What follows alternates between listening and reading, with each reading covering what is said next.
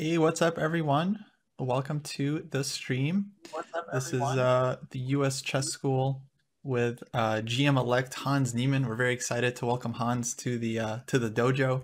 Uh, if you don't know about the US Chess School, just hit uh, exclam USCS in the chat and you can find out a little bit more uh, info. This is a program that's been going on for many, many years now and uh, is now being streamed for, for the first time uh, ever. Uh, this class is being sponsored by chess.com. Shout out to chess.com. Uh, brand new up and coming Twitch stream if you haven't checked them out yet, twitch.tv slash chess. And we're very happy to have Hans, who's been, um, we were just talking, has attended multiple USCS sessions when he was uh, a youngster and is now giving back to the community and teaching a, a class of his own. Um, yeah, let me uh, throw it to, to Hans. Take it away. Yeah, so um, uh, I uh, recently reached out to Greg about uh, you know giving a, or teaching at these camps since I uh, uh, these camps are really important for me. You know, they're not only um, you know really instructive, and I've learned so much in these camps. Um, the in-person ones are the ones that I, I really found the most value, but obviously due to the you know the current uh, situation, um, I think that it's really good that there's you know accessible, um, free, high quality training provided by the US Chess School. And uh, that's always been really important to me. And I think the social aspect is also really great. You know, the friends that I met at my first camp, I most of them I'm still friends with today. Um, so I think you can form really valuable friendships and uh, meet, meet people who you're going to know throughout chess. And um, so I, am uh, I look forward to giving this lecture. It's nice to be on the, the opposing side since uh, I like to, you know, it's I, have sometimes, you know, I've been frustrated with certain teachers at the U.S. Chess School, but now I have the power. So I look forward to having the power over all of you guys as the teacher. And, um, you know, I also have the mute button, which is great. You know, as a teacher, my, my teachers at the U.S. Chess School wish they could mute me at our camps, as, as Greg definitely can, can, can vouch for. Um, so uh, the games I prepared today, um, I prepared three games. Uh, third game is if, if we get time. But um, the first two games were actually from a recent tournament.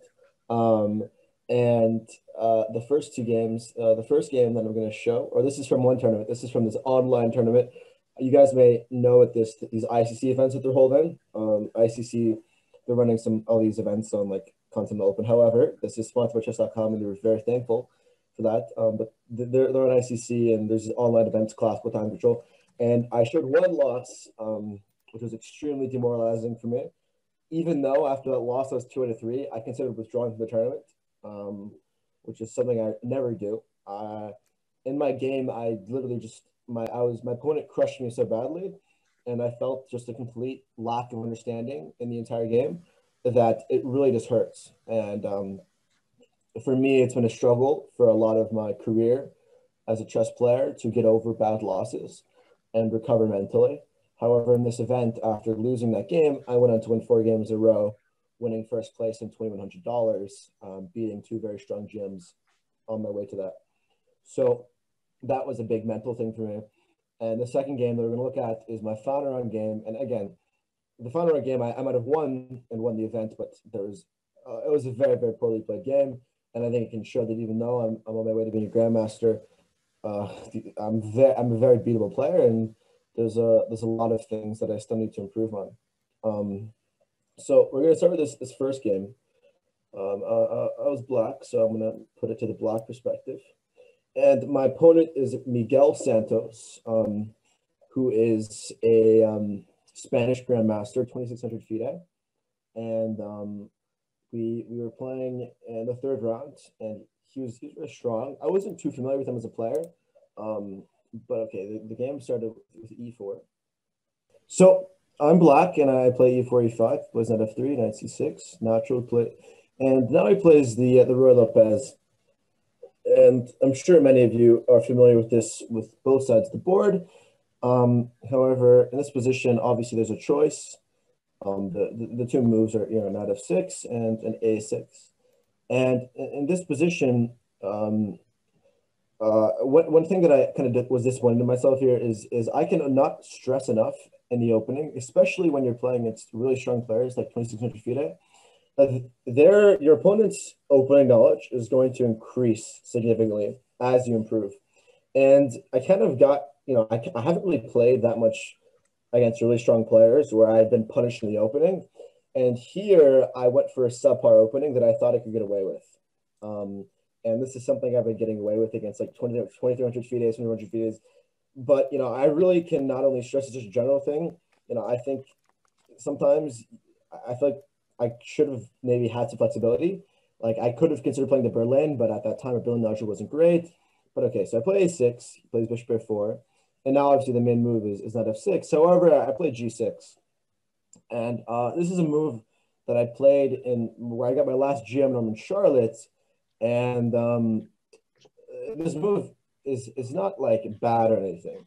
However, against the 2600 FIDE opponent, you're going to get punished. And I didn't realize that. So, number one, I didn't, I was a bit too confident here in my, my opening repertoire. And I got punished. And I got a, I got a very rude awakening um, that there were holes in repertoire. So, here, the main move that I had invested most of my, my studying into was, was c3, which is the most natural move, preparing d4. However, here he played like, like the third most popular move, which again, these are the this is what top players find. You know, he, you know, this was a hole in my repertoire. Um, was this d4 was just it was just a hole, and it's actually just a great move, and the computer really loves it. So obviously, after e takes d4, knight takes d4. Sorry. Um, um, he plays knight takes d4, bishop g7, takes takes and castles. Now uh, number one, in this position, uh, another thing that I kind of learned a lot from this game was that when I saw this position, I was completely blind. I had no idea what was going going on here. I didn't know what the correct move was here. Obviously, the the move like the the ideas here are pretty natural, but like again, this shows like in order for me to be able to compete with these really strong chess players, I need to do to develop my opening knowledge to where in this position I know my next five moves. I know the three different variations in each deviation and all these different points. And these are the things like when you're really studying and trying to improve your openings, you guys look at your openings. Most of you probably think that your openings are fine. But yeah. when you really start to play these really strong players and you consistently play them and they surprise you, uh, you just you get this feeling of absolutely being powerless and in this position, and he was playing very quickly. Another thing that just completely intimidated me was just playing very quickly. He knew everything about the position, and it was all just so fluid, and he just crushed me. So, so here it's it's not that difficult to find with the natural moves here. Obviously, the knight doesn't want to go to f6 because you know e5. So the knight, knight e7 is the natural developing square. So then he plays rook e1.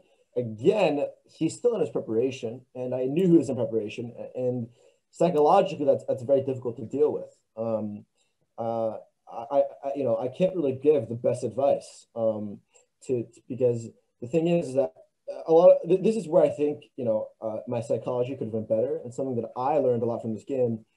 Something I learned from this game was that even if I'm playing a very strong opponent that is a bit intimidating, and if they're playing extremely quickly, and on top of playing extremely quickly, I'm out of I'm not knowledgeable in a position where I feel like I should be knowledgeable, I should still.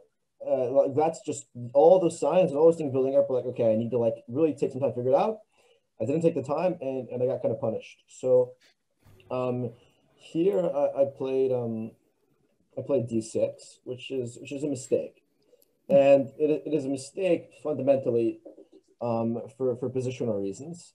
So um, I, I, don't know really. Uh, there's a move here that can that punishes this idea, um, and obviously this is a bit premature. Um, I should have castled, but uh, if you're thinking in a positional sense, um, oh sorry, let me let me include. Well, okay, the move's not direct. Let me say knight c3 castles. The, the move was was possibility here, but the there is a move here that really clamps down on what white is trying to achieve.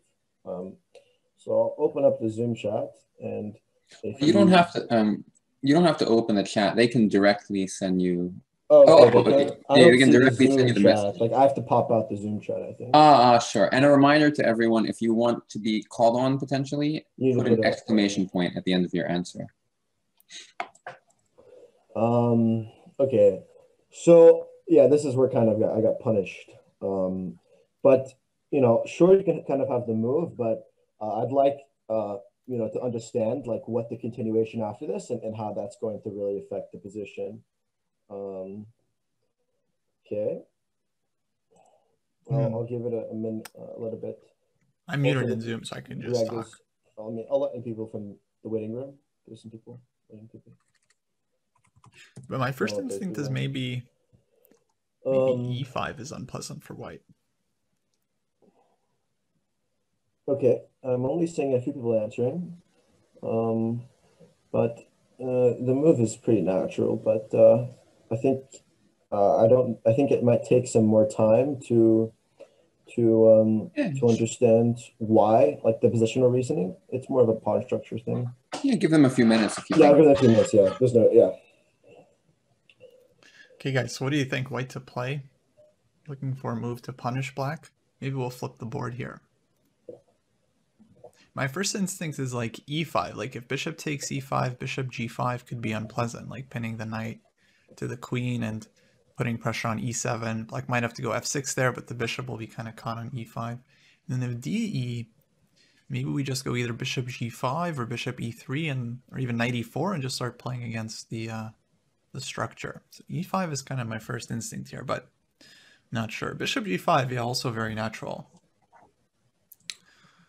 Very natural move. And then black has to figure out what to do with this pin. Either they want to go like h6 or, or f6. I would make arrows, but if I make arrows, then they'll show up on Hans's screen and then they'll show up for the, uh, the Zoom kids as well. So yeah, okay, running candidates right now are either bishop g5 or e e5.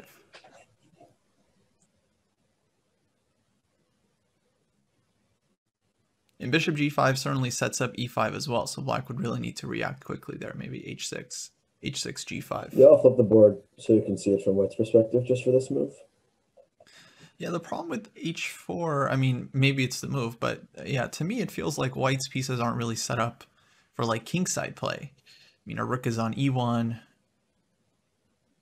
And yeah, I mean, if our rook was on h1, then h4, h5 would feel a lot more incisive.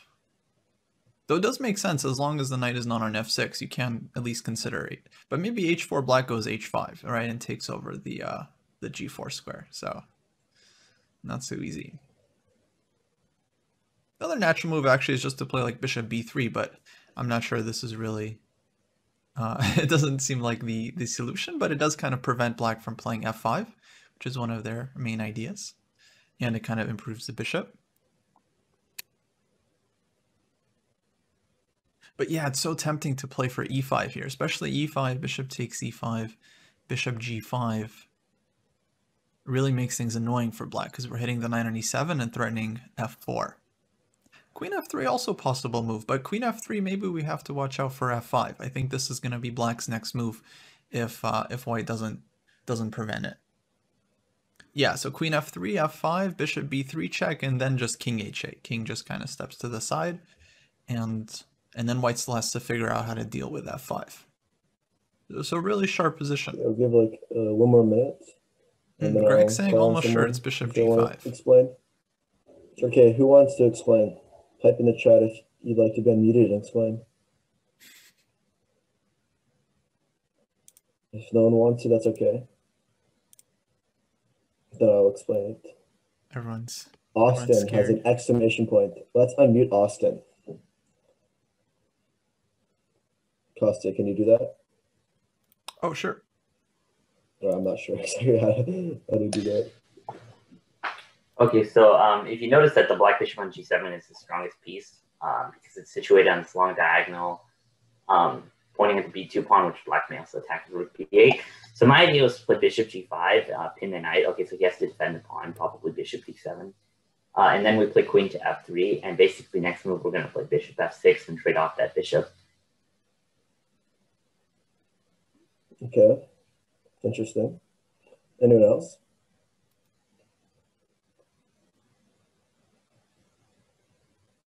Ryo wants to be unmuted. He's got exclamation point. Or Aryan. Not sure if. Okay, Aryan, we'll, we'll go with you. I'll unmute Aryan. I asked you to unmute. What's your uh, explanation? bishop g5 with the threat of e5. That's it. Yeah. Okay. If you try to stop it with f6, then bishop to b3. Okay. So that's a that's a one move threat. Okay. Interesting. Interesting. Let's try and think more than one move threats. We, we're not we're not playing basic chess. We're playing positional advanced chess. Oh, Jason, Jason, let's unmute Jason. Jason, can you explain why queen d2 instead of queen f3? Maybe do you not have a mic or can't find your name? Hey, Jason. Okay, Jason, what is your, why do you want to play? Explain your idea. Yeah, queen d2 is um just stopping h6, which black kind of wants to play. Um, otherwise, the bishop on g5 is just annoying. Like, there's no way to kick it out. Correct. So the the correct idea is after bishop g5, bishop d7, uh, after queen f3, uh, Uh-huh. the queen the queen is just better situated on d2, um, preventing h6, and this pin is very very annoying. I was way off. So this is kind of the first Subtle. sign of, of things going wrong. And I, I kind of was just at a loss of, of an idea here. And I kind of panicked a bit. And um, I, pl- I played the, wait, sorry.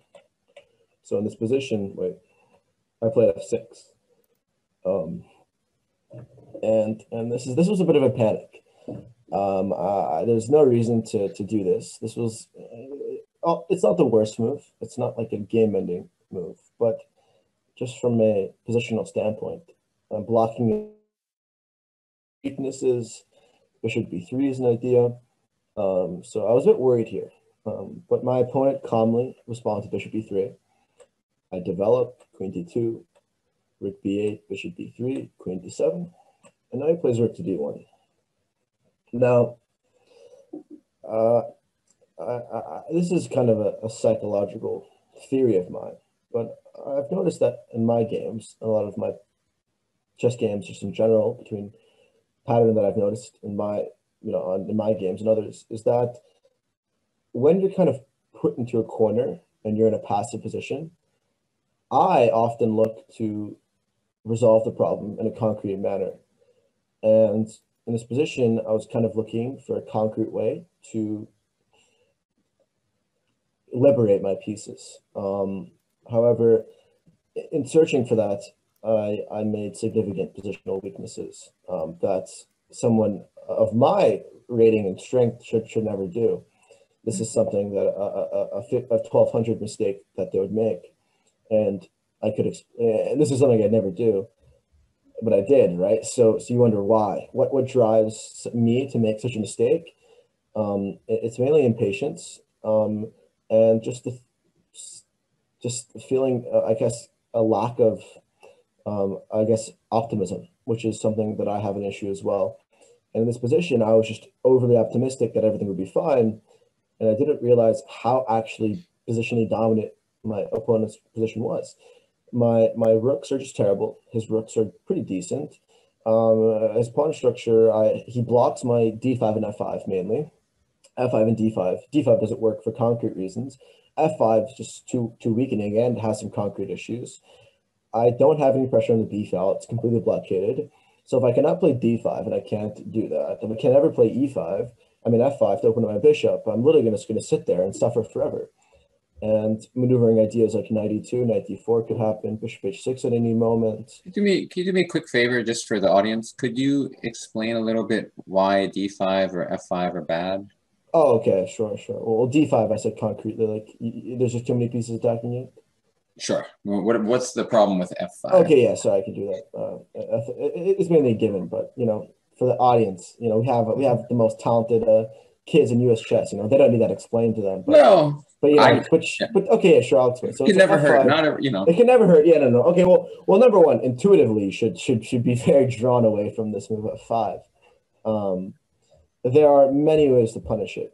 Um, just in a general thing, it's like there's not really much of a follow up. One of the strong moves against the bishop g5. Um, And again, let's say like takes takes. This pawn structure is actually very nice blockading it. Um, let's say takes, play knight takes. In this position, you're going to try to trade off the bishop. You also, there's just a lot of holes. Um, there's a concrete, I guess, way to, to, to, punish is if you take, take, and get bishop g5. Um, mm, this looks very and now this is kind of an issue um, because, like, you, you want to take, there's a pin. If you move the queen out, then you take, take, and take with, with this with this discovery. Um, but I don't even I didn't even feel the need to calculate it because mm-hmm. intuitively mm-hmm. I just know that F5 is just not going to work. Um, even and just even just bishop D4, like even just simply bishop to D4, like I, I don't even. Uh, the, the, main thing is is that uh, as as a player of chess, this okay this could be harder instead of some, but for most of you that are in or in the Zoom should, should intuitively understand that a move like F5, even like with no concrete reasoning, after bishop d4 and you're trading off the bishop and you've got all these weak squares, you just never should really open up the position without the proper, you know, backup, right? So uh, that's that's kind of where I just didn't feel the need to calculate it or spend a much a lot of time just you know going trying to, you know, again like I said, try to fix things concretely. So are, are you saying because the rook on e1 becomes open? Well, it's just the rook on e1 and and and, mm-hmm. and there's just it's there's no really if you ever resolve the tension, you're just stuck. You're kind of stuck. There's no way to like improve because if, if you ever take, then you're just inviting. If you ever take, you're just bringing the queen in, taking, taking, and then the, the a, a6 pawn is, is really is weak for the rest of the game. The pawn structure, the piece placement, everything is just terrible. Um, Feels bad, man. So okay, moving on. I don't want to spend too much time here. So well, I played g5. Sorry, I played rook e8, bishop d4, and I played g5. Mm. And and and the move rook e8 was was obviously to prepare f5 um, in hopes of f5. But okay, I played g5. Like this move, this move is something uh, a, a 1200 like child like nine year old with with no position or standing plays. Um, like uh, um, this was like one of the worst moves I've ever played. And and the idea is obviously to play you know knight g6 and, and, and maneuver, but uh, this is just okay. Let's. Uh, this is a very easy explanation. This is self, mainly self-explanatory for you guys watching, but in the audience it would be tougher. Uh, anyone like to unmute and explain why G5 is such a horrendous move?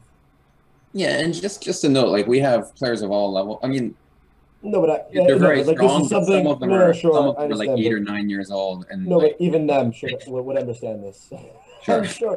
I'm sure even an eight-year-old fifteen hundred can mm-hmm. understand mm-hmm. why G5 is a bad move, but but I can't um, or I couldn't during the game. So again, I, I, I when I chose to, to, to, pick a loss, I wanted to show you know me at my worst, mm-hmm.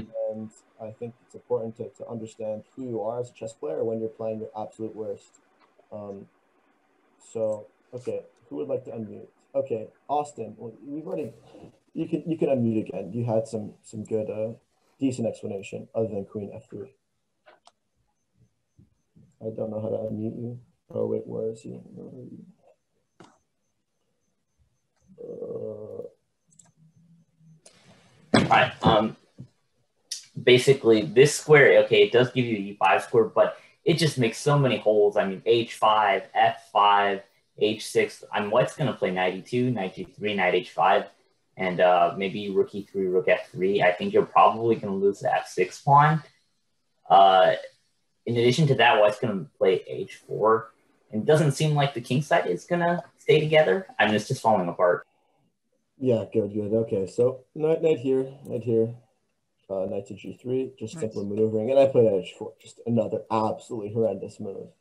Um, so the oh, knight on h4, the idea behind this is obviously to protect the f5 square, but the knight can go. I just completely underestimate the idea of knight to h5, and now my opponent plays yet another calm move, and after queen c3, I stare at my position and I realize that I literally don't have a move.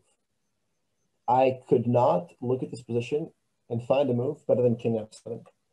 I can challenge you to find a move better than this. I looked and I looked and I looked, and this is this is the actual just best I have. There's literally nothing else I can do, and it's Bishop extremely depressing. Pin, but maybe I can never play c5 because the bishop takes c5 and there's a pin. I never play f5. I'm just going to lose this pawn. If the rook comes to f8, bishop e6, queen e6, queen c6. It's just all absolutely terrible. So you can tell by king f7, I'm getting pretty desperate. And I haven't, okay, oh, sorry, this is a good point. This is a good question. This is something I calculated during the game. So why does this not work? What is, uh, what is, what does black have here? I mean, white have here. This was something I was hopeful, but then I shut, then I got shut down because he has a nice way to, to liquidate things here. Takes an f3. Okay, that's, that's, that, that is, uh, a bit of an issue. I think we know why after takes an f3 is losing. Maybe I'm sure you guys do puzzle rush, 300 rated puzzles. I'm sure you guys have done those. Oh, Um, queen c4, queen yeah, f1. Yeah, oh, I, nice. I'll point nice. it out. Takes, takes. Just checkmate next move. F3, queen g2, 45 in survival. Well, Oh wait, knight of three my, my puzzle rush in five minute was 86. So you guys can't, uh, you guys can't impress me with that. Um, yeah, knight f5. Just look. Let's just trades every single piece off. Knight of five. Okay, I got it. I got one. I It's got one. very sad. If I take, Nice. Takes. There's just not enough left. Takes, just takes. There's nothing. Don't have enough power. If takes, this hangs. Takes, takes. Everything's protected. And if, oops. Oh, that's not good. Um, let me. So, in this position, knight f5. Let's say I take, take, take here, takes, takes, rook e1, f3. It's not dead lost, but it's pretty bad. Bishop retreats to f2. My bishop's terrible. Well, okay, there's sorry, there's bishop f6 here. Bishop takes f6. It's very, very bad. There's just no hope here. Down in exchange, king's wide open, game's over. Um, there's just nothing. I, I tried to make like an idea like c5 possible, and in hopes of maybe something like takes takes here, queen e4, but even here, queen c4 just shuts everything down. There's just no way I can form any sort of uh, threatening counterplay with a bishop on g7 blocked in by this pawn structure. Um, so that was a bit sad. So I was forced to play king f7, which now walks into bishop a4.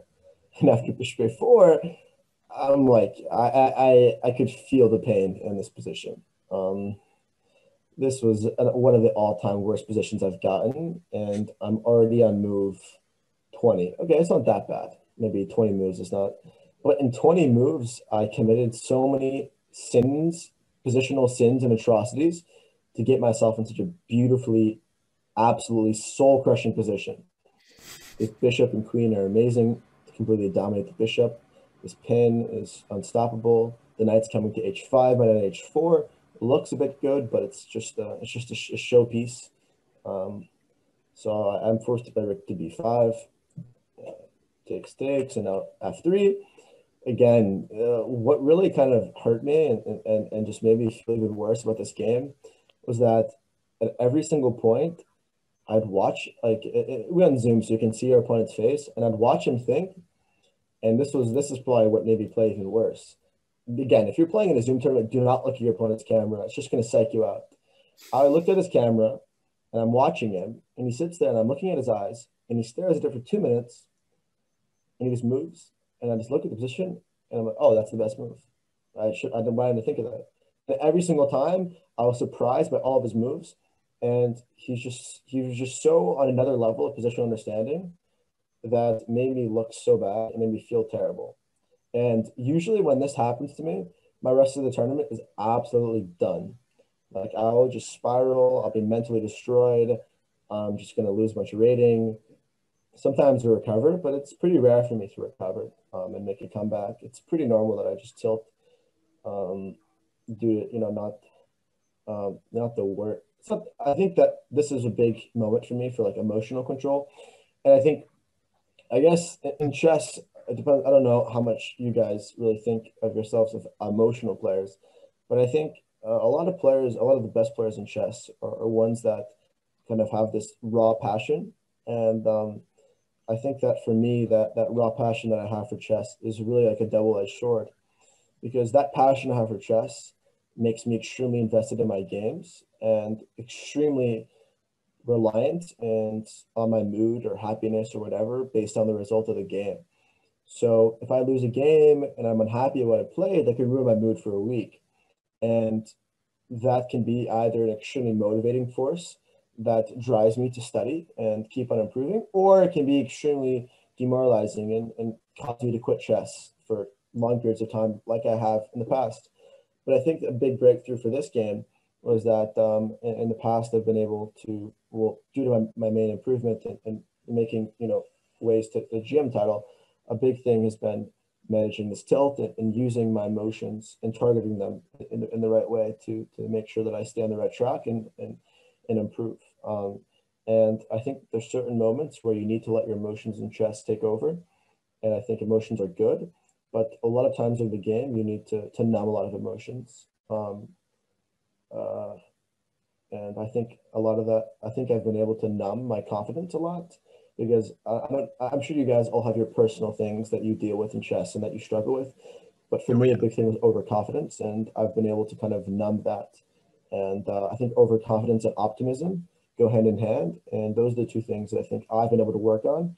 And this game really drove home that I need to work on those two things, and I think that caused a lot of like a, it was kind of a wake up call for me. This game was a huge wake up call, and luckily I was able to to fix things the game right after and uh, win the event. Uh, but okay, I can I'll, I'll, show the end of it. It's, it's not that that that, that important.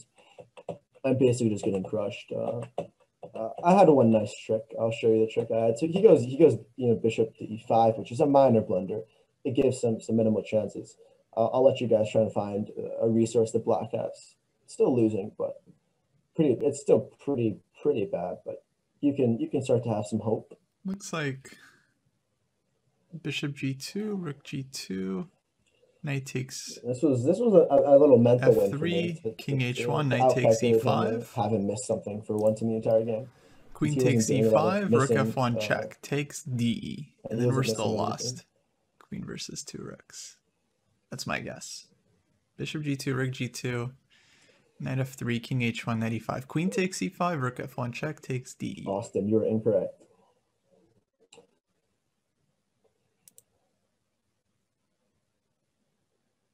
Hey, Axel Rose, thanks for following. Big fan.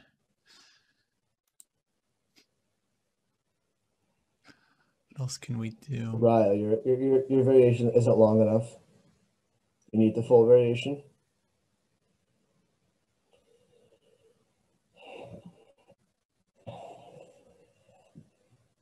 This is if you've done some puzzle rush, you might again chess.com has a great uh, feature, Puzzle Rush, which you can get yeah. with a premium diamond or platinum membership. So uh, I'd recommend getting that as the stream is sponsored by chess.com. Beautiful.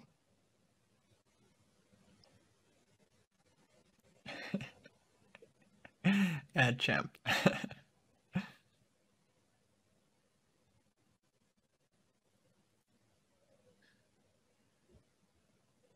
Okay, that is correct, Ryo. That is correct. That is correct. Okay, it looks like Andy has found it as well.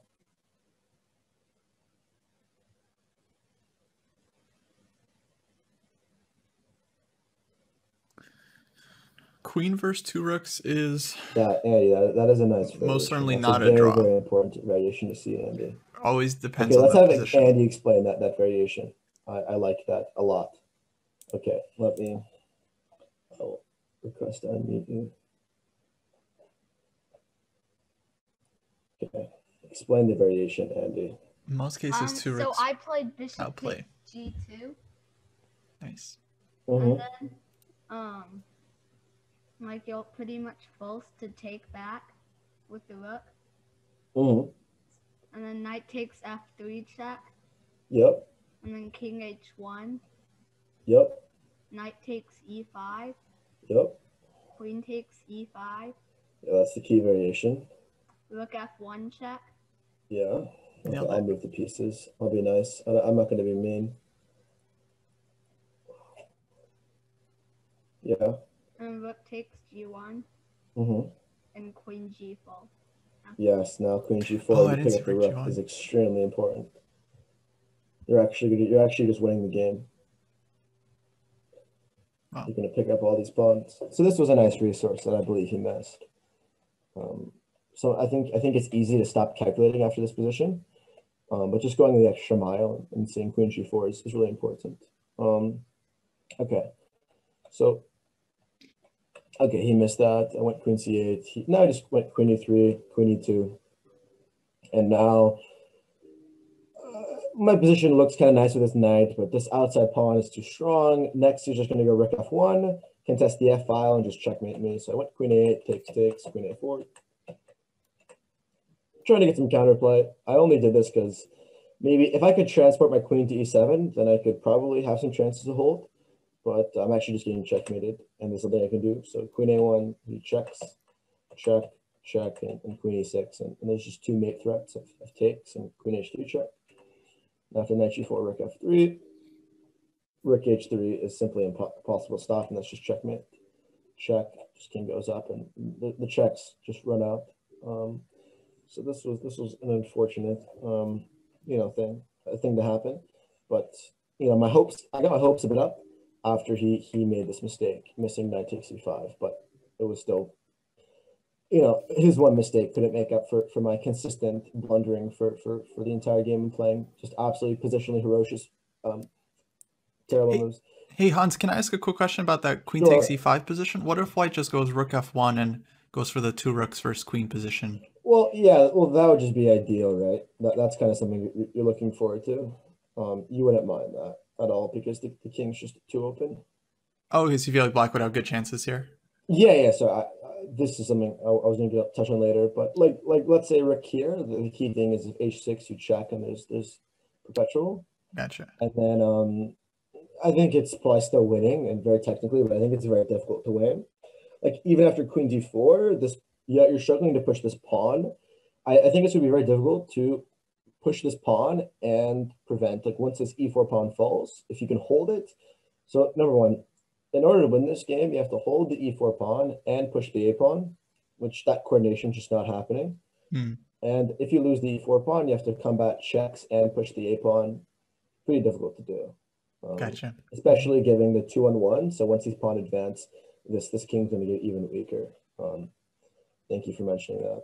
Mm-hmm. I, I, usually I would have my notes on here, but I, they're all in chessbase. Um, anyways, okay, so that yeah, okay. So the end of the game is not that important. So so let's go to the next game. So okay, I'm going to summarize kind of what I learned from this. Um, so I think this was a great wake up call for me in multiple ways. Number one, I can play some really really bad chess under the wrong circumstances. And I know what those circumstances are now, and I know how to stop that chain reaction from happening. Number two, I need to do, I need to raise my opening repertoire to 26, 2700 two day level and to achieve the results I want to achieve. Um, number three, um, I, I, I, if, I think it's fine for me to, to want to withdraw after, out of a tournament after losing a game like this, but I decided against it. But I feel like um, the way to fix this problem to being upset is just to never lose like this again. So that's my plan. My plan is just never lose a game again like this at least, and I won't feel that feeling ever again. So that's that's how I solve it. that's my way of doing things. Just my answer is just don't lose again. So uh, uh, we'll, we'll, see how that goes. Um, okay, so to the next game. This was in the same tournament, and it was in the last round, and had the white pieces. Um, so I guess I can also touch on the opening preparation aspect of this. Um, for those of you who know, who have played, I, I, know some of you, I recognize some of the names, have played in, in the events. The unfortunate thing about these events that the organizers don't do a great job of is that they put the pairings up right as the game starts, um, which is kind of uh, uh, not standard for classical like GM level play in these tournaments. Oh, yeah. At least expect just to get a, a five minute check on their opening tree with with with, uh, with the color they're playing with. But um, in this in this game, I was leading with a half with a half point lead, and I knew you know who I was going to play, so I was able to invest some time into opening preparation. Um, so uh, I don't want to get too in depth into opening preparation. However, I did some pretty deep opening prep, um, and uh, i guess I can go into some specifics. So I played the move in out of three here first. And um, so there was a few things I was expecting. I guess this isn't entirely under what I'm trying to teach, but um, I, I think that a lot of you guys should definitely take your opening prep more seriously. Um, I don't know what if you're around the 22, 2300 range. I think a lot of improvement can can be achieved through really investing time into opening. So that's just some general advice. If you're looking for a sign to to invest more into your openings, For high rated players, I think that's where the really small gaps happen. Like just the little the, 2400 plus. smallest margin of, of advantage between the best players and just a small opening advantage can really decide how the, the game develops. Um, so he plays c5. A move I had not expected. Um, I prepared for three different moves here and uh, very deeply. And well, I did it in about 45 minutes, so it wasn't insane, but I, I have some stuff that I've done outside of the, you know, not during the event that happened to, um, you know, coincide with the stuff that he, he, he generally played. And in this position, I was kind of an unfortunate, I had, I had to make an unfortunate decision. So first one, obviously I can play e4, just with a Sicilian. However, with a half point lead in the last round event, considering his play style and my analysis of his games, I wasn't comfortable with that. Especially my experience with the Sicilian recently has been great. Um, I could play c4, but that's a little bit too symmetrical and not really my type of thing. So I kind of had a psychological read on him. And if you, I think that these are, my opponents are um, Javokir Vakhidov. He's a GM from Uzbekistan. His, um, it's like TJK Tiger is his, his, his username. You probably seen him online. He's like, so he's a GM from Uzbekistan, pretty good, uh, 2500 FIDE around that. And um, in the analysis from his games, no, that's not him. It's not Sindarov. It's it's Vakhidov. Um, Sindar, he's yeah, Sindarov's like the, the 13 year old GM or 14. Yeah, Vakhidov. So so, so so I don't know if you guys how you guys approach your analysis, but in my opening analysis, I, I found that he had an affinity to put his pawn on g6, bishop on g7, and like all his games, he had this natural affinity to put his pieces there, or he like he just loved putting his bishop there. No, h4 is a bit too uh, predictable. No, so yeah, that's a bit that's a bit much. But I noticed he likes to play g6 against his Sicilian ideas. He likes to play g6 on move one against f3. Against d4, he plays g6 sometimes. I looked at his his chess.com profile. He loves to play g6. I looked at his brother's chess.com profile. He normally plays g6. He seemed like a g6, you know, Grunfeld guy. His brother plays same openings. So uh, based on my analysis of his brother and him, I decided that this guy just loves playing g6. So I played a move that I thought would, would fare well against g6. b3, no, no. I played c3. And um, I thought that if I could get this d4 structure, that would obviously fare well against this g6 structure, right? With the bishop being blocked by the d4 pawn on the diagonal. And as I predicted, he plays g6. I'm obviously very happy that I've made a little bit of a read. I'm sure, you know, Greg can appreciate that from his poker days. But I made a read on his games, and I, I felt like this was again, I didn't.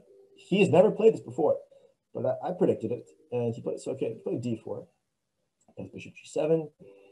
Now, I play the move um e4, taking space in the center. Pretty natural. It's the best move according to the computer. I was not a direct preparation, but the most natural way to play here is takes takes and now d5. And after e5, we've transposed to a line with Sicilian. Uh, does Yeah. anyone know which line we've transposed to? This should be Accelerated easy dragon, This is a this is this is a gimme. Alapin, correct. C3 Sicilian. Oh. And I think and and for some reason I I I, I played this line against them. So I, I watched Geary play this against me with White.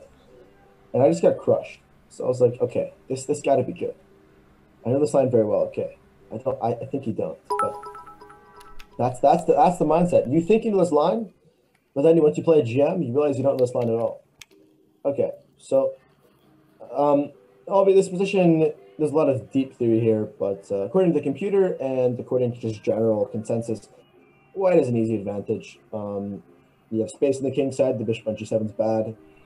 There is some weaknesses on d4. The knight can go to c6, knight h6, and f5 can be threatening to d4, bishop bishop g4. There's f6 to break it down, but just generally, you know, positional, sort of positional sense. The bishop's bad. It's very bad. Um, and with a bad piece, you, know, you play around that bad piece and you try to win the game. So he plays move a6, which um, is not a very popular move in the database. Um, and the idea is obviously to stop bishop to b5 because after knight c6, bishop to b5 is the main move. And there's some theory here. I'm not going to go into it, but uh, white just gets an advantage. Um, if you play this as black, I, I wouldn't recommend it unless you're playing me. I'd like you to play this against me if, if we ever play. Um, and I'll gladly, gladly crush you because I've done a lot of work in this line after this guy. So don't well, play it against me, but don't play it against me. Anyways, plays a6. I just played bishop b2, not your developing move. Knight c6, h3. So, so in this position, I have the decision between uh, castles and h3. Um, and I, I think they're kind of the same, um, but I wish I could have spent more time. Um, this is kind of a yes or no question. Do you guys think castles and h3, the difference between them is, is, is, is important? If so, if it's important, give me a scale on 1 to 10 how important it is. Well, h3 stops bishop g4, so that seems important. Castles allows black to play no, bishop g4 if they want. You give like, I don't know. I'm going to say it's important. Yes, I would play h3 here, stopping bishop g4. There should be there. There are some some necessary things. There's some important things to think about here. Again, I should have known the theory here. That's something that's on me for not knowing the theory and not knowing how to play this. But you can't always know the theory at every line unless you're you're Magnus or, or, or top in the world. E6 is definitely unusual. My guess is that black wanted to um, prevent white from from playing bishop b5. But yeah, it seems like playing h3 would be reasonably important. Otherwise, black just goes like bishop g4, takes, takes on f3, and then like knight comes out to h6, f5, and just black has a very easy time uh, attacking the uh, the uh, d4 pawn. Oh, let me fix the donation link. Thank you for that. Okay. so uh, there's a few reasons. So so uh, in hindsight, it's it's very difficult to actually uh, understand the difference. Um, so the main difference after castles immediately is that this move f6 is is not that strong because opening up the center with the king already castled is obviously not the great. However, if I play the move h3, this is the, the main key difference. This move f6 becomes quite significantly more powerful because obviously, you know, I, would much rather include the move castles if I'm going to try to, you know, take advantage of a king in the center than h3. Now, in this position, um, this is kind of a very key moment um, because you're presented with, with a decision. Black is trying to break down the center, and you need to decide how you're going to deal with that. Um, so this is where I want people to take like five to like seven minutes just thinking about it. This is a really, really important moment. And I really want you guys to think about what you're going to do here um, and what plan. Because this is this is probably the most crucial, one of the most crucial moments of the game. Um, is deciding how you're going to deal with the tension in the center. Mm. Interesting. mix of calculation and evaluation, as always. Oh, F6 is play. My board's not updated. Sorry, guys. Okay, white to play after F6.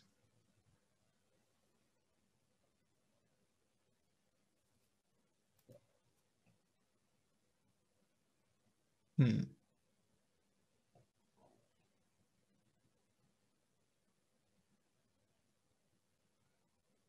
So black wants to take on e5, but it's unclear if... I mean, that seems like a risky pawn to take, so I wonder if white should think about just castling here. Just allowing black to take. Like, castles, take, take, 95, take, take, and then playing for compensation there.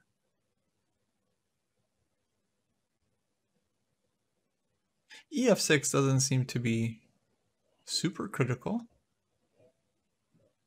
Probably black goes EF6 there and knight G7. Well, who knows? Maybe EF6 is possible. I'm honestly not sure. Tough decision. Yeah, My instinct is to castle. Is there some more things I want to talk about at the end? Well, E6 certainly a move, but after bishop takes E6, it's not clear what the uh, compensation is. Black just develops and grabs a pawn. Knight c3 seems possible too. Yeah, bishop f4, definitely a move. So knight c3. Maybe black takes, takes goes e6 or something. Not really sure.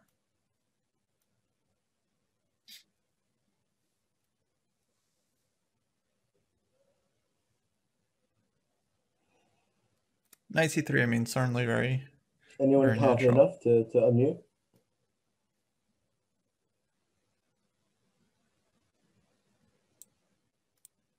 No one. Wow. We've got we've got 37 of the brightest minds in chess, and, and, and, and no no one's gonna no one wants to unmute. On Well, intimidated 37 of the brightest young American minds in chess. Come on. I'm gonna call out some names. I'm gonna call out some names. I'm gonna call some people out. Who do I want to call out? Let's see. I'm gonna put people on the spot. Make sure you guys are paying attention. Let's see. Who do I who do I who do I recognize? Um Alexander Wong.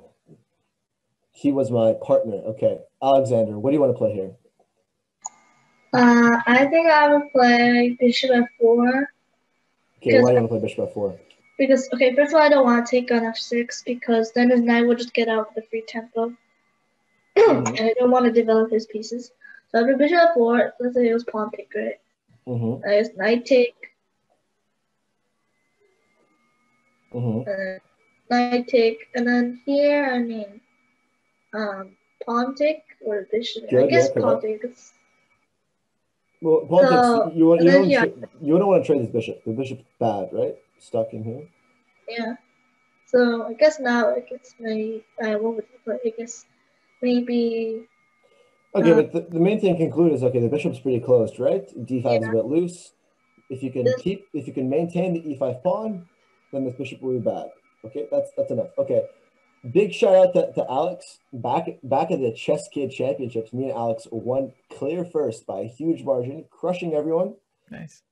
He's an absolute beast. Okay, who else do I want to call out? Um, Eric Zhao. I played you. I remember you. I remember our game. Eric, I'm gonna ask you to unmute and call you out. What do you Uh-oh. Um,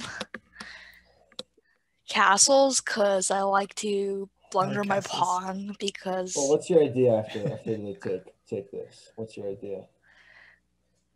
bishop f3, Okay, knight f6. rook e1. Good. And now there's a few moves, but the main thing is, is you have bishop h6, there's knight c3, maybe bishop g5. You have full compensation for the pawn, and this is what I calculated. And after I calculated this, I wasn't worried about losing the pawn, even if even if I castle. Okay, good. Nice. Who else? I'm gonna pick Yeah. out one more person. You guys are should be quaking at the thought of being called on. Uh, okay. Ooh, who do I? Liam Putnam. Okay, I know Liam. Liam, what are you what are you gonna play after f6? well, I don't think f6 is stupid. I just think it's I'm asking you to unmute. it might not be the most most accurate move for black. Hello, Liam. His camera's off. He might he might not be there. Okay. He, he- I'll let him get away. Okay, we'll move on. I'll, I'll, let, I'll let Liam get away. Okay. Yeah. Okay. So I played castles. He plays takes. I take take. Now he plays e6. It's actually a pretty good move. Um, and slowly but surely, I started to realize that after takes takes, if you look at this position, I was like, what the heck is my opponent doing? This guy must be an actual, he must be an idiot. Because look at this pawn structure. This, this like all their pawns are light squares. He's got all these holes, but somehow he actually gets away with it. Because my d4 pawn and my pawn structure is actually just terrible. Wow. My d4 pawn is extremely weak. 97, knight f5 is coming. And I don't have a good way to develop my pieces without losing the d4 pawn. If knight d2, they can take. I wasn't too comfortable sacking. This is just so solid. Um, so okay, I put bishop b3. Now I put bishop d3. Um, again, knight f5 I take, and this would be very good. Um, because let's say they take, then I go knight d2. Let's say castles. I could even think of like an f4 move, but Wow. you just F4. notice here that these the, the dark squares are just way too weak. I could go knight f3, knight d5 possibly. Again, this is I'm not going to take too much time explaining how weak and how many holes there are. You know, there's just so many holes. It's just bad position. Knight Play b3 castles. I play knight d2. I play c5. I take take, and now I play another just absolutely idiotic move, showing no position understanding whatsoever. And I play the move rook to b1, protecting this pawn.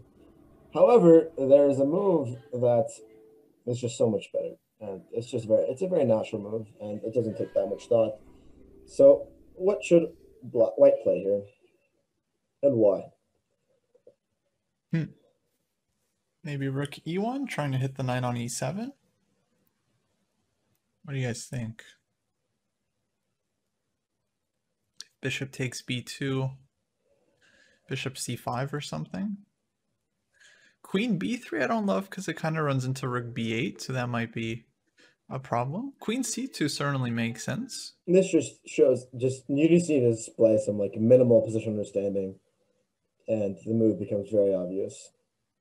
Knight b3 also possible. No, queen b3, rook b8, rook is defended by bishop, gonna so this is important, so I'm gonna give you guys some time. Black can get away. Maybe knight b3. two the, the two moves I played here were the only two moves that threw away my advantage, which is very depressing. Knight b3, take rook b1, bishop moves, and knight comes to c5. Maybe some positional, some positional compensation. It's easier to sacrifice Hans's pawns when I'm not in charge of it.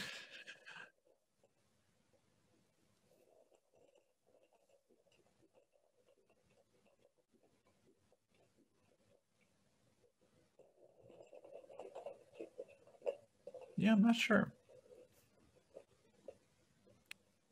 But yeah, rook e1 feels like my first instinct. Bishop takes b2, maybe bishop c5. Bishop h6 also a very logical move.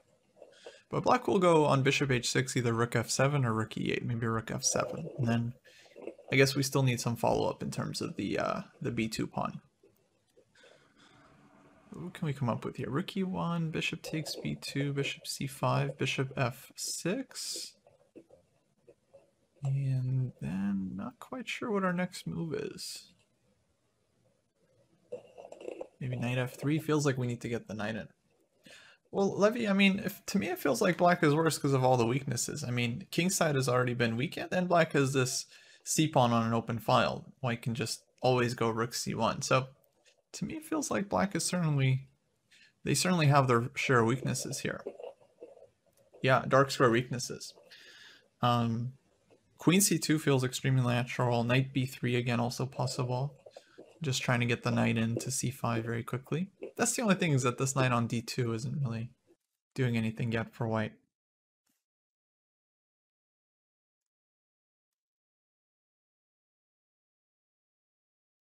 It'd be nice if knight c4 was a move, but it doesn't seem like it works. Takes, bishop takes, king g7, and black's queen is defended. it even says they're scared of knight f3 if you move your queen and rook takes f3 well then don't move your queen if you play knight f3 you know you can go knight f3 and then put the knight on g5 maybe put the knight on d4 b3 i was wondering but i'm not sure if we're getting enough compensation after takes queen takes a1 to me that's very it's some compensation for sure but to me it's un unclear that we have enough there. Black will play rook f7 and defend the dark squares. So knight f3, maybe bishop takes b2, rook b1, bishop goes back to f6. And we'd play like knight d4 there, right? Or bishop d4. Can't you sack the rook here? It's definitely an idea, guys, like something like either b3 or b4. Bishop takes a1, queen takes a1. But is it enough? I mean, are we just YOLOing it up? Or are we actually getting getting some real play? Because black will play rook f7, black will play bishop f5, and and kind of start trading off. But I don't know, maybe white has enough compensation there. That would be really interesting. Uh, does the rook e1, bishop takes b2, bishop c5 idea work? That's what I was trying to figure out. It looks uh, it looks like compensation for sure. This thing rook e1, bishop b2, bishop c5. Black goes bishop f6. From there, our next move is not so obvious to me. So it's hard to say. Hey, we're getting a raid from the St. Louis Chess Club. I'll give a few more minutes. This is just a really, really important Shout out moment. And I spent like 20 minutes here and I got it wrong. So Thank you for following, guys. Thank you for rating. We're doing the US wait, uh, chess Greg, how much time should we leave for the Q and A? Um, Oh, let me get back. Hey, about 15, uh, 15 minutes would be good. okay.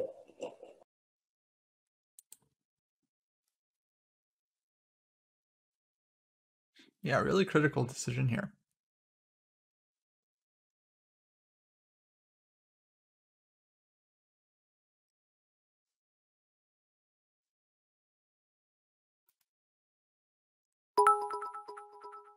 Hey, thanks Freeman for the bits. Mickey Dead Guy says, well, you can't give away B2 pawn. Maybe you can. Maybe you can. I mean, pawns are just one. So one the best factor, is right? knight to f3. Knight f3, wow. The reason why it's the best move is that you're not worried about this pawn. If you go here, rook b1, let's say bishop f6, you go bishop c5. You're down a pawn, after rook to e1, the pawn structure is up a pawn, but these are terrible pawns, completely dominated. You got the open b file, you got the open B, E and b file. The bishop can never move because of the b7, like, you know, en- entering. Queen can come to a4. The king's weak. There's a knight e5. It, it's just terrible. Just the- you have more than a compensation, and I completely failed to realize that there's just no compensation. There's just an, uh, an insane amount of compensation. So Watch yeah, and learn, that's that's just I, I didn't even I I considered knight f3. Like okay, takes takes, bishop f6, and, and and again I looked at this position, I calculated this position, but I didn't spend enough time on it. Um, and and that's where that's where I was really really mad at myself. Um, for not spending like a few minutes on this position, and then I fully realized how bad it is because just the bishop on c5 and everything everything just just comes together very very well. Um, so I play rook to b1, pretending to play next move. However, after knight to f5, bishop c5 is a natural move. Uh, Black has a move there that re- that, that really that just saves everything, and it really really hurts to see this move. Um, so Black has a really really annoying resource here um, that uh, changes the, the the course of the game. Hmm. And that I was I I I I I I saw it before he played it, but I realized it a little bit too late. Okay, black to play, guys. Apparently, black is a really nice move. So it's not just going to be like rook f7, rook Yeah, how e8. does uh, how does how does Black turn the tables here? It seems like it's going to be something sharp and dynamic. No name says I wanted to play knight f3, but fine. can't see the um, continuation. I think this was more about evaluation, is just seeing that we have compensation there for takes and rook b1. Murfinsky says some knight h4 ideas look spicy. Yeah, knight h4 looks really spicy. Bishop takes f8 and like queen g5. Oh boy. Knight h4, bishop takes f8, queen g5, hitting g2. Very difficult for white to deal with that threat, yeah? If g3 were just taking, and if g4, maybe h5. Or even queen f4 possible there. Oh, queen f4.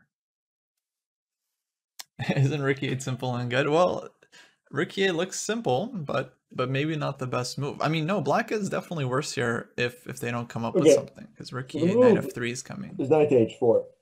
Nice. Nice. Obviously, well, most of you would probably didn't even consider this move because you're still just considering, you know, moving the rook. However, if you move the rook anywhere and I go down f3, um, this is very, very bad.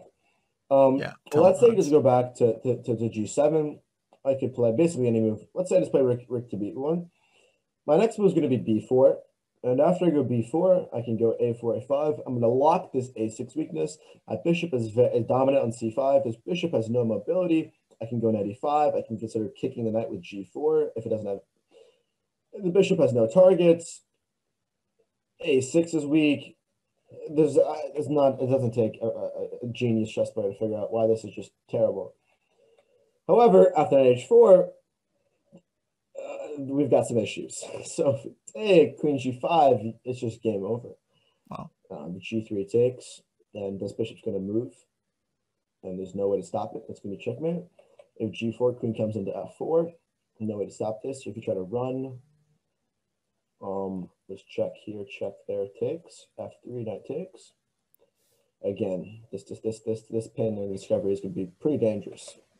So I while while it's his move and I'm looking, I'm like calculating, I see knight h4 and I, I immediately my heart drops and I'm okay. I can defend it. I think rook e1. And the funny thing is, I actually still have an advantage. I still have a um, it's still about 0.4 from it. Um, and queen g5 here isn't actually good. Um, I have to move um bishop to f1, and, and luckily I stabilize everything. And and and bishop h3, I have rook takes e5 takes takes. Computer gives a winning, technically winning advantage for white here. But you know, for humans, it's difficult considering the open king, possibly double. You know, can't double now, but just the idea. King's pretty open. Could be some tricks.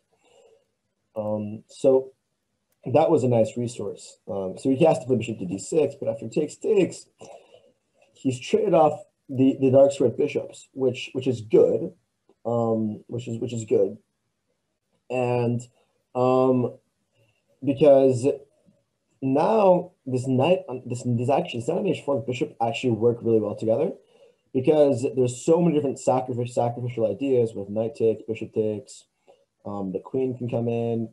There's a lot of sacrificial ideas, and this bishop on on, on my, my bishop was, was was good for protecting. So I played queen e2, which is a mistake. Uh, the correct move was was rook to e3, and then queen e2 um, so I could triple on the e file. But queen e2 first leaves my queen open to, to some attacks. After queen f6, I play f3. Again, another move that's some, somewhat of my rating. Uh, should, should never play. Weakening all of these squares. Um, uh, opening up the f4 square, possibly the g3 square. Absolutely horrendous, disgusting move. Played by yours truly. And this really just shows that uh, mistakes happen, and these positional mistakes happen. And sometimes when you improve a lot in chess, you forget the, the basics to not play moves like f3. As Ben Finegold says, never play f3. Um, you know, yeah, okay. I'm not gonna I'm not gonna make that joke. I'm sure as U.S. chess school students, you guys have heard enough of Ben Finegold's jokes and probably got sick of them by now. As I got sick of them when I was at his camps. Yeah. But you learn to appreciate them. Okay. f3. Um, queen g5, this is a bit of an issue. Bishop takes h3 is a threat. King h1, bishop d7, queen f2. And at this point, um, as you guys know, I play quite a lot of online uh, blitz and bullet chess. So uh, I'm pretty confident in my blitz and bullet skills, and especially in scrambles. At this point, I was down maybe 15, 20 minutes, and uh, I had a terrible position. So I kind of just like, okay, I'm playing pretty bad chess. Um, I'm getting outplayed. I have a pretty bad position. I'm just going to hold on, play quickly, and, and flag him and trick him in a scramble. and that's what happened. But uh, let's just say I had to do. I had to. I had to fight and outplay him by an insane amount to just to even get a chance to win. Um, so plays rook f7, he simply doubles bishop f1 here, and now I had a chance to play to play bishop takes a, a h3. I mean a6. But again, as a human, it's very difficult to take that pawn. So I play rook e3, another terrible move, inviting out of five. Like why? Sorry. Oh no. Uh, okay. Oops. Yeah, that, that's an unfortunate feature. Um, so so can you guys? I, can you guys? I'm curious. Can any of you tell me why this would be a good move? Welcoming the knight back into g3. There's just no rational justification whatsoever for the move. Um, I probably should have just closed my eyes and take took taken the pawn, but very difficult to do. I kind of just wanted to hold on. But yeah, rook e3 again, one of my one of my amazing positional decisions. Um, knight f5, and I go back, right? So now I've just lost two tempos, and I've invited this knight into g3. Good job, Hans, again. This just shows that, you know, I need to do some some studying and reviewing and, and you know, be more careful. So a5, rook c1, here, a3 takes. And again, knight takes, this is just a loss. This is just a losing move. And again, another point show how bad I'm playing this game. Um, how does how does black just just get a winning position here. This this this has quite a few few issues. Oh, knight g3 And uh, very, takes very on f1. King for the way I takes played this game. f1. However, bishop I won two h3 thousand dollars, takes, which makes up for it. Rook takes. Um, that's all that ma- that's all, that's all that matters in life. Money doesn't matter how you play chess, how you win, how you lose. All that matters is money. That's a good life lesson to, to teach all you kids out there. Is that money is all that matters. Um, so yeah, in this position, I play knight takes b3, and I allow uh, a move. Um, so uh, and, and there's this quite a dangerous idea. Yeah, knight knight g3, king here, and bishop takes h3. And you might ask, Hans, why is your FIDE rating Oh, this- 2479 and you're missing such basic tactics? Well, whoever's asking this, when I'm playing chess and I'm, uh, I just didn't take the proper time and I wanted to just flag him. So I wasn't thinking properly. And when I don't take my time sometimes, I make really bad moves, as most people do. However, you know, the lucky, lucky guy that I am with absolutely no skill as a chess player, my opponent plays knight takes f1, king takes f1, bishop takes h3, absolutely throwing away all his advantage. Now, I'm starting to take down his time, and I can feel his nerves. And I'll, I'll give a little bit of an anecdote. I played his, um, his, I think I don't know if it's him or his brother, but I adopted him or his brother. I think it was him in Blitz. So I was feeling confident in a, in a, in a scramble against him since I adopted him. So I want to go for a scramble. Okay, we're running out of time, so I want to skip through. So Queen E3, I offer a trade. Um, things things are complicated. I start pushing my pawn. I get counterplay. Again, this is dangerous, but I consolidate. Queen D2, F4, and now he's he's getting low on time. It's a scramble. I've turned it into a blitz game. I'm gonna dirty flag him like I do against everyone. Um, this is what I love about online chess. Just get to flag people. Um, that's what I'm best at, you know. Um, so rook kicks f4, rook kicks f4, rook kicks f4. He plays this impulsive move. It doesn't win. It's actually equal here. And I played the move king g1, and this is the last question I'll ask you. Uh, how does what's the only way for black to draw this? Draw. Um, I saw this game live. Wow. Didn't Hans also adopt Sirkan? I did. I did. I did adopt him. I've adopted many strong chess players. Josiah Stearman, who just became an international master, I adopted. I've adopted GMs before as well. I adopted a 26-20 FIDE. Evgeny Shtembuliak is my son. Okay, so you know, uh, I've adopted. I've, I've quite a few strong Brutal. kids. Um, uh, you know, I take Rook they- they- d4, I queen take g3 of check. Um, okay. h2, maybe queen takes Okay, someone's h2. asking me did I beat Hikaru. That's not. I'm. I'm gonna. Is there is there a kick button, Kostya? They're asking about my games against Hikaru. Did I kick or or is that not allowed? Okay, don't answer that question. Sorry, don't answer that question. anyways, anyways, okay. Um, don't bring up my losses, or, or I won't call on you. Um, okay, so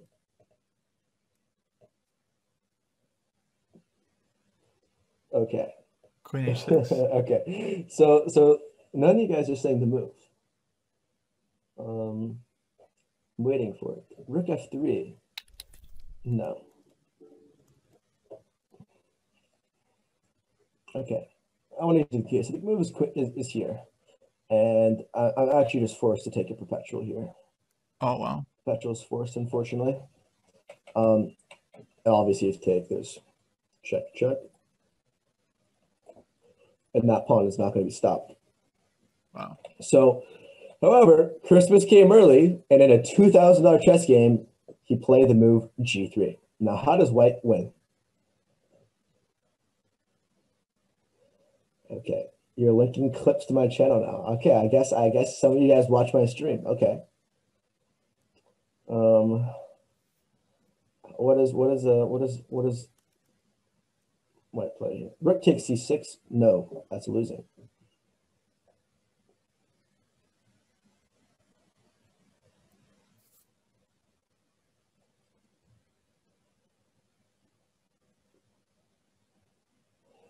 Looks really scary. I'm just gonna say it because I want you guys to. I want to answer some questions. Rook c3 is the issue, and uh, you c3. can't really go queen g6 to protect it or rook g4 because this is this Wow. pawn's gonna hang. So h2 check was played. King g2, rook f2.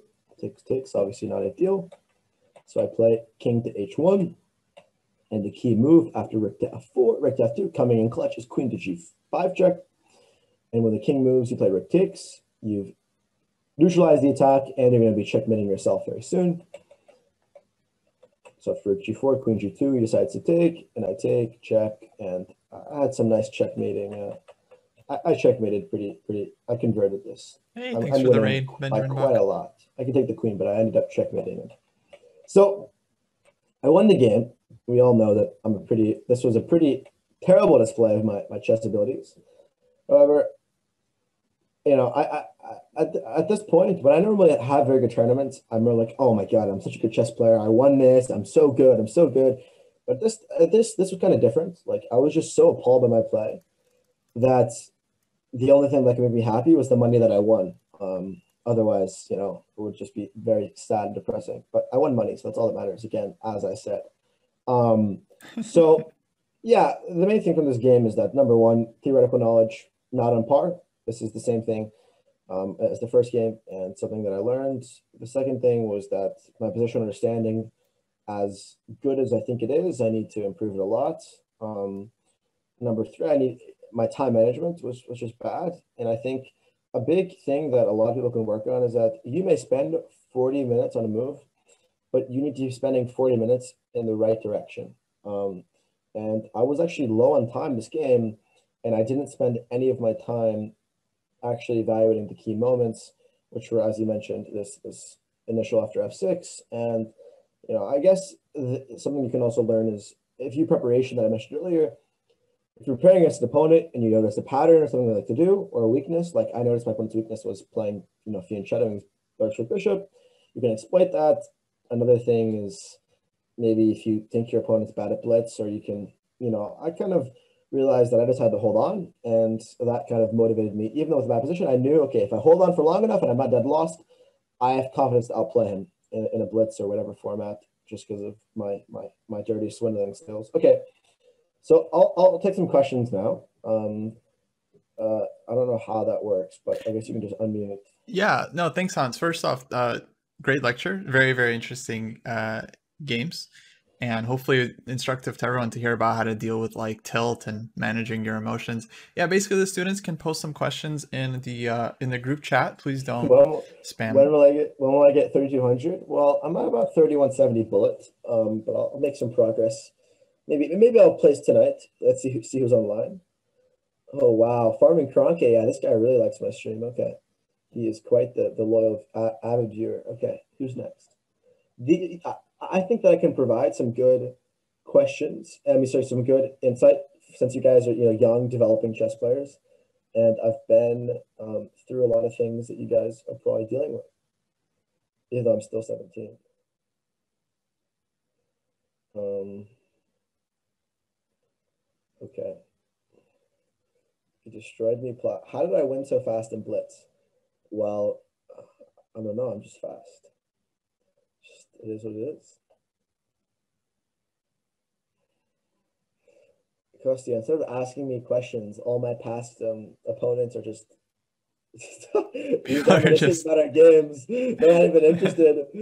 Oh, I, I played I played uh, I played Rachel Lee Donna Queen at the um at this tournament.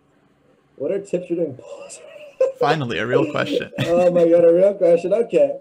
Okay, so in Puzzle Rush, if you want to get better at Puzzle Rush, you've got to go into the Learning tab, and you have to find the rating which you're stuck at, and then memorize every single puzzle at the rating you're stuck at, and you can't, you're getting problems out. Um, so let's say you're getting like problems wrong at 2500, go to 2500 at Learning and memorize all the puzzles, do it for 10 hours a day, and you'll get a higher score. How do you memorize them? Eat more blueberries. XD. Okay. Uh, I actually do think blueberries are pretty good. Um, I don't know if they're mem- help memorizing. I heard gum helps, like chewing gum when you're memorizing. Um. Um. Okay. Hans, I Oh. got a question. Um, when you said earlier you you said you had to work on your opening repertoire, what does that entail? Is that just you in ChessBase looking at databases, engines? Yeah. mhm, So it's just me and ChessBase. Yeah, spending like Like over the past like month, I've been after after this loss, I've been spending like, like six hours in chess every day. Oh wow. So that's something I've been very focused on improving. And how do you review the lines? Do you like use like training mode or go back Oh and no, forth? no, no, no. Uh, this is I'm I'm lucky just to have very good memorization abilities. So I just I just see it and I remember it. Um, which I'm sure some I'm just lucky to have that. Um, but uh, you can just you know re- repeat it. Um, but I just like look for you know new ideas and memorize stuff. I don't normally like try to memorize it. I just I, I just have a natural gift to just know it if I see it. Thankfully. Fair enough. Um, I think uh, that's not, that's not uncommon among chess players. Um, but yeah, uh, use the online feature, obviously, compare engines, look for moves that um, like aren't common, you know, like moves lower down on the most played list are normally overlooked by most people. I also use chess.com for analyzing. They have a great feature, chess.com slash analysis.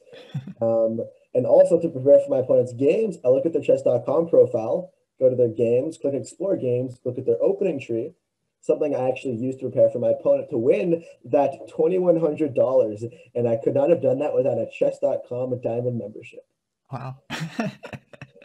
Okay. That was, that was, yeah. hmm So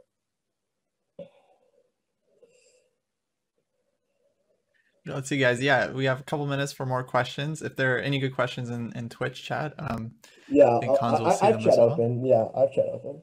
nice. Is how much should 1800s rely on tactics? 1800s should maybe look at some more uh, positional stuff if that's uh, where you're lacking, especially if you're an online player. Um, uh, I'm waiting for for for. Does Hans remember playing Bughouse, the 2013 US Open? Are you kidding me? I remember that exactly. Did I, did I play with you? You know, you know, you know who I saw in the class? Julian Proleko. He might have left, but I remember playing with him in the 2013 U.S. Open in Wisconsin. Um, no, not not not Wisconsin, Madison, Wisconsin. Um, it was my. I was like three months into playing, um, and uh, it was my first like big big event. I was your partner against Awonder. Oh my! Oh, that was you. Oh, dude, I remember that. I remember that. I remember at that at that event. Um, Awonder's dad was like, "Don't play bughouse. Don't play bughouse because it hurts your chest." You know. So I remember advice. that. I remember that very well. Um, yeah, that was that was a fun time playing bughouse against them. Top openings that stunt developments, the London. The London. Just the London stunts development like crazy. Oh no, who unmuted? Someone's playing it. I remember when you oh oh he didn't he sent me a private message. People are sending me private messages. Oh boy. Oh no, okay. What do you think of the Jobava London? Well, that's a blitz opening. I would never play over the board. What's my favorite structure to play? I prefer when I have my pawns on c4, d4, e4, and f4, and their pawns are still on a c7, d7, e7, and f7. That's the structure I prefer most. Touch screen or mouse during rapid time control? Um, if you have problems moving too fast, then pull a touch screen. But uh, if you want to be a mouse, just consistently faster. But on the phone, the touchpad's not terrible. But guys, we should be ans- asking questions like, "Oh, Hans, like, what was your biggest plateau?" Because no offense to a lot of young chess players, but most of you guys are going to get stuck, stop improving, and quit chess and focus on getting into Harvard. So maybe you guys should be curious how you're going to stop that from happening. How do you Because- stop that from happening? How do Well, you? that's what. But I'm going to be honest. Like, like, like ninety. It's going to happen to like ninety nine percent of all of you in this in the Zoom call. So like maybe you should be asking, like, oh, how, how do I stop that from happening? You know. Like uh, uh, the thing about a lot of online players, you guys are all very young, and you may think you're you're, you're all talented and cool, but there's there's a hundred of hundred people just as good as you in the world, and uh, you know it's not 2000 or whatever. At seven years old doesn't mean anything, you know. So uh, you guys should. The big thing that I can that I can give to you guys is that number one, if you're playing chess, and your parents are forcing you to do it because it's a good extracurricular, quit chess immediately, unless you're um, going to be the next world champion. Number two, again, if you hate chess, uh, just stop playing it. Number three, uh, if you hate chess, please stop playing it because you're just going to end up hating chess and you're never going to improve. And, and, a big thing that I see a pattern among a lot of you guys, like I can see your games and I don't know, I could look at all your US chess profiles. I'm sure a lot of you guys pretty talented at a young age and a lot of them, you guys are just stuck. Maybe you're stuck because you got some friends. Maybe you're stuck because um, your parents blocked chess.com. Maybe you're stuck because you did dislike chess. But the reality for a lot of you is you're going to stop improving and you're going to feel very powerless. And the only thing that's going to get you past that is actually really loving chess. Um, and no offense to Kostya, but you know, Kostya gets stuck at IM. It's unfortunate. It happens. It happens to everyone. You know, it happens to everyone. It happens to everyone. But the thing that has gotten me through chess, through all of the plateaus, is that you actually have to love chess. So if you guys don't love chess, if you're not doing chess voluntarily, you're not going to get to where you want to be. Because when I when I think about what I want to do with my life, and I think about do I want to go to college or do this, my decision is that I love chess. I love everything about chess, and I am perfectly fine sacrificing almost everything else in my life to spend 10 hours a day in chess, play, and do everything committed to chess. And that's what it takes to become the best and to not plateau and not get stuck. Um, also, uh, another thing with, with you guys is that if you're, you, you really can't get lazy. Don't waste your time when you're young.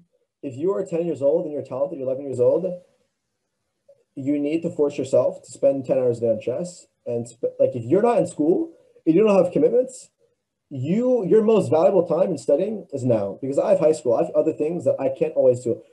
Okay, although I do spend all my time in class on chess base, I don't recommend. I do recommend that. Um, I do recommend that. Let me rephrase.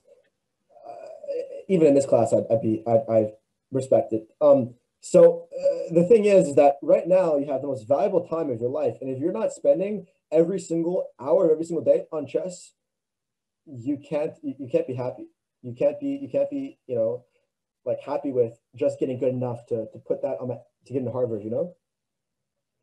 And if you guys you know are unmotivated because you can't play, there's a there's events on ICC, there's events on chess.com, there's events all over the place. Even just playing Blitz online to maintain the passion. Don't tell the parents, no, no, no. I want, for example, if you if you guys are lazy, I'm gonna have to talk to your parents and tell them to like take away whatever you, you care about. So they force you to play chess for 10 hours a day. However, then you might kind of hate chess, and that's going against my advice. However, you need to find you need to realize that chess is such a beautiful game and to give you so much in life if you just really commit to it. You know? So that's my thing to all you nine-year-olds who are spamming random stuff in the chat and aren't even listening. I'm gonna be honest, most of you guys are not gonna improve for the next three years. You're gonna get stuck at 2200 even even if that even if that you're going to start hating chess because your parents force you. And then you're just going to go to harvard or whatever school become a doctor and you're like looking back in your life and like wow like i was so good at chess but like i didn't take it seriously when i was nine or ten you know? That's my advice. I i think that's good advice. I mean yeah all the kids in the class you guys are so young and now's the time to just take advantage. yeah most of them are going to be nobodies in a few years but unfortunately guys, that's how it goes. I want yeah. you guys. Well, uh, it's the truth. None of like you guys in the chess world. As soon as you start to get old, your relevance and people caring about you is decreasing rapidly. So you have to improve when you're young. You have to do it when you're young, and you have to put in the hours when you're young, and you have to have the maturity and the commitment at a very young age to really, really invest. Anyways, cool. well, um, we we got to wrap it up here, Hans. But thanks so much for for the class. This was uh, this was really excellent. Uh, obviously, if you guys want to follow um, Hans on Twitch, I'll post the the link in the chat. And uh, yeah, are you playing any more tournaments, Hans? Anything coming up for you? Yeah, I'm playing this weekend uh, this this online event, and then I'll be playing at this Texas State Championship, which is FIDE rated, um, November 26th through 9th. After that, I'll be playing in the um, online World Youth event, U18. I expect to see some of you in the lower sections. Uh, I think I saw some names. There's an under this is an online World Youth. Um, I expect to see some of you guys there, and you know, bring home a, a medal for for US. And then I'm playing, you know, North American Youth. Um, hopefully, we'll get the 2500 rating and become a GM officially. Okay, actually, let me answer one more question. Hans, how come you rage so much on stream? Well, the reason I rage is that the uh, I'm very mentally and emotionally invested in chess, and I think it's a good thing to rage because that inner rage and that inner raw emotion is what drives me to become a better player. So without that, I'd be nothing. Um, so I think it's good. I, I don't. I think people stigmatize being upset, but I think it's completely fine. If I wasn't shaming, I'd do do worse things. Um. Anyways, okay. Thank you guys for for watching. Thank you guys for coming. Thanks for having me, uh, Kostya and Greg, for for organizing it. Um. This was this was fun. Absolutely. Thanks so much, Hans. I'm gonna end the meeting now. I'll we'll catch you uh guys later. Actually, Hans, are you gonna be are you continuing to stream? No, I'm not streaming right now. Actually, I uh, ended before it started. I'm actually just gonna go study some chess. So sounds good. All right. Take care, everyone. Uh, have a good one. Yeah. Bye. All right, guys. Yeah, that was that was it. That was the class with Hans. Hopefully, you guys enjoyed it. If you missed it, um, the VOD will be available after the stream uh, is done, and also we're gonna put up the uh, the class on on YouTube as well. Thanks again for uh, watching, everyone. Thanks so much to Chess.com again for uh, uh, sponsoring this class uh, and their support of the U.S. Chess School. Uh, once again, if you guys want to support the US Chess School, you can visit the website. There's a donation link there. You can also apply to join. And yeah, let's um let's rate someone. Actually, speaking of speaking of Ben Finegold, maybe we'll go raid go raid GM Benjamin Finegold. Uh, this was a lot of fun, guys. The next USCS class will be with uh, Super GM Sam Shankland. That's coming up this Tuesday, I believe 5.30 p.m. Eastern. That's going to be on this channel and going to be uh, really, really fun. So hope to hope to see you guys there. All right, take care, folks. Have a good weekend.